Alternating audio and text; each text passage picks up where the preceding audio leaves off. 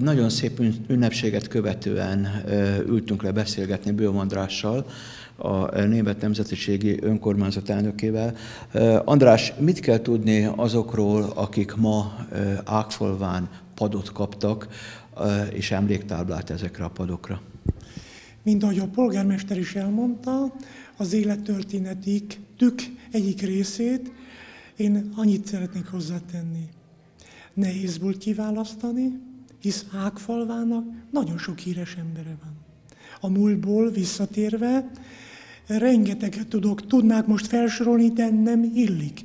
Na most nagyon nehéz volt, még egyszer mondom, kiválasztani, de Edmund Scholz mellett, ha másképp nem szól, mint ahogy a polgármesterünk is elmondta,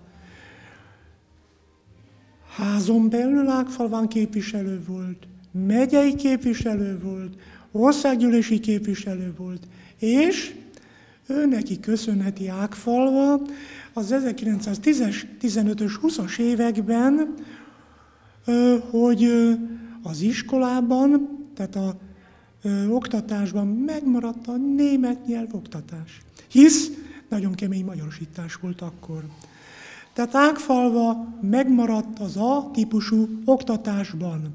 Ez óriási számít nekünk ma is, hisz a szüleink, az én szüleim is, természetes dolog, édesanyám 15-ben született, végig németül tanult. Az igaz, hogy e héten öt magyar óra is volt. Tehát Edmund Scholznak, Scholzödönnek nagyon sokat köszönhetünk, hisz amit bemutattunk, azt a könyvecskét, ami Ágfalváról, Bánfalváról, Lojbeszpákról, Lépesfalváról szól. Ez az első kötede. Ez az első kötete. De ő tovább dolgozott, és nem tudta kiadni már a másik kötetét, szintén erről a területről, mert közben beteg lett, sajnos el kell mondani. Nagyon sokan tudják, azért mondom, ezt el kell mondani, hogy Sopron a Patak utcában lakott, lakásából kipaterolták, és egy pincébe kellett meghúzóckodni, és így ott halt meg. Tehát mi, ágfalviak, nagyon sokat köszönhetünk a Solcödönnek. És ki volt a másik, aki ma emlékpadot kapott? Velkler Ödönbácsiról nagyon sokat lehetne regélni, hisz az én ifjúságom ő lelte át, vagy nem is tudom, hogy ő nevelt. Ugyanis négy gyermeke van a Velkler Ödönbácsinak, lelkész úrnak, a János a legidősebb volt a barátom. Sajnos meghalt, ő főgyógyszerész volt, és majd a Sándor követte, majd a, most a Szokolai Sándorné, és a Velkler Dóra, aki Svájcba él most. Velkler Ödönbácsi Rajkáról érkezett, mind ahogy az István elmondta polgármesterünk. Érdekes, mind a két lelkész Ágfalván, a katolikus Fürstenfelder Mihály is Rajkáról érkezett ebbe a faluba, 43-ban.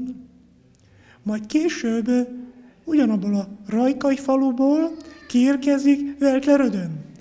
De de értető, és ezt azért mondom el, akik ezt nem tudják, főleg akik ma települnek be Ágfalvára, hisz ez egy német község volt. Na most mind a két lelkész német származású. És ez a falu, na ennek a falunak szüksége volt a német prédikátorokra, tehát az ige hirdetőkre. A Fürstenfelden Miskavácsról talán annyit, aki később Ágfalván Esperes úr lett, katolikus Esperes lett, nagyon jó barátok voltak Veltler Ödön bácsival, nagyon sokat együtt jártak. Ezt az Ágfalvi lakosok nagyon szerették, hisz itt két vallás felekezet él, jobban mondva, katolikus és evangélikus felekezet van, és látták, hogy a két lelkész jó barát, akkor nekünk is barátkozni kell. Nyilván ezt az 50-es évekre mondom. Velklerödön nagyon sokat tett, a szinte kitelepítés után el kell mondani, nem volt pénz.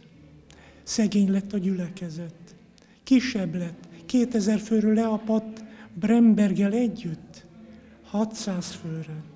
elveszítettük Lépesfalvát, Bánfalvát.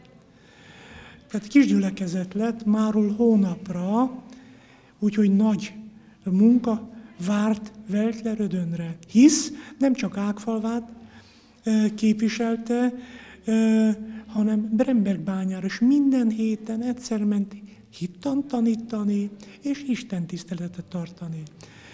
Akkor még nem volt autó, nem volt autóbuszjárat, tehát ezt gyalog tette meg mindig. Ő nagyokat alkotott templomban, templom építés is, amit a polgármester el is mondott már. Úgyhogy Velfelődönről nagyon sokat lehetne mondani. Az ifjúságot összefogta, pingpongozni nála tanultunk, fotoszakkört vezetett a felesége, úgyhogy nagyon-nagyon sokat köszönhetünk ma Veltler családnak. Négy gyermekükkel erre együtt barátkozott a falu. Sokat tanultunk tőlük, én is, megmondom őszintén.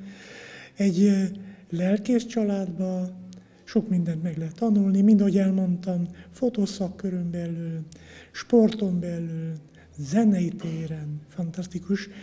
Sem képzett volt az egész család, és nagyon össze tudták tartani a falu lakosságát is. Amit, amit nagyon ö, köszönünk, ahogy az István is elmondta, a hősi szobor mellett. 55-ben került föl a hősi szoborra az második világháborúba elesett és eltűntek átfogja névsora. Ezt az egész országban nem merték megcsinálni. Itt a Veltlerödön meg tudta csinálni. Magyarul ez azt jelenti, hogy gyakorlatilag mindenki felkerült erre a táblára, függetlenül attól, hogy a háborúban melyik oldalon harcolt. Így van, így van, ez a szép dolog benne, nagyon nehéz volt, ezt is hadd mondjam el, majd akik nézik ezt a műsort, hogy ebben belesegített a katolikus plébános úr, a Fürstenfelder Mihály is, besegített, nagyon nehéz volt összeállítani, nem csak az elesett katonáknak a névsorát, hanem az eltűntek névsorát. Sőt, most is van egy hibánk, ami rosszul került fel, nem halt meg, és fenn van. Tehát ezekkel küzdködünk, de nem baj, hisz hibát mindenki vétett. De még egyszer mondom, nagyot alkottak, Veltlerék, vagyis családra gondolok, a lelkész úr például el kell mondani azt is, hogy amikor vízumkérés volt, útlevélkérés volt, naponta keresték fel a Weltler urat, a evangélikus lelkészt, ő írta meg a kéréseket, majd ha elutasították, akkor megint a lelkész úr írt. Tehát nagyon szükség volt egy faluban egy lelkészre, aki nem csak lelki gondozást adott, hanem segített a minden E, na pogubane, taj i. Köszönöm szépen, és hát András mondtad, hogy nagyon sok olyan ember van Ákfalván, aki még megérdemelné, hogy padot kapjon, és hát azt hallottuk a Soproni, Sopron környéki egyesület vezetőitől, hogy folytatják a padok állítását, mi pedig szívesen tudósítunk, hogyha legközelebb Ákfalván egy újabb Ákfalvi olyan ember kap padot, aki gyakorlatilag kiemelkedő munkájára ezt megérdemli. Köszönöm szépen. Mi is köszönjük, ennek valóban így van.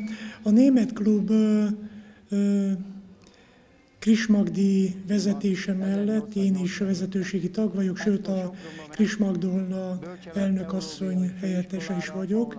Sopron és környékén német klubnak a helyettese vagyok, nagyon sokat dolgozunk. Sokat dolgozunk azért, mind ahogy elmondtam már egy énekkaron belül, hogy mi a lényeg, fenntartani a hagyományokat. Itt is nekünk feladatunk Sopron és környékének a németjeit összefogni egy csokorba.